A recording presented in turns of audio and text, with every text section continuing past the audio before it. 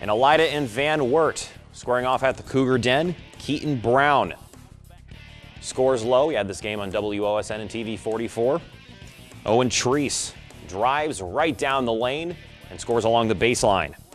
Treese again, this time hitting the three from the left wing and buries it from distance. And Elida's Riley Krebs catch and shoot and knocks it down. Van Wert answers as Jake Hillary. Hits the three, another catch and shoot. Right wing Trey. Hillary again, feeling hot. And stops and pops beyond the arc and buries it from distance. Here's Jaquan Moore. Drives right down the gut and flips it in off the window.